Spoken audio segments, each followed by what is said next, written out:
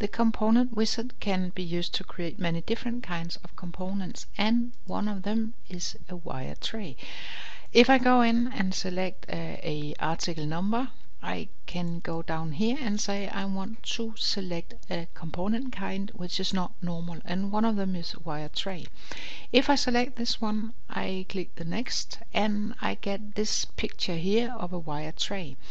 Then I can type the height of it and it's in millimeter and the width of it that could be 25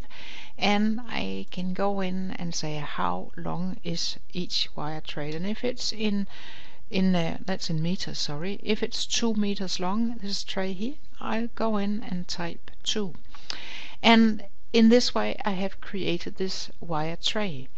when I want to create wire trays I can again add a lot of all those descriptions I don't want to do that right now but the only reason for me to go in and create wire trays for instance is that I can go in and use the dimensions of the wire tray when I route my wires in the panel.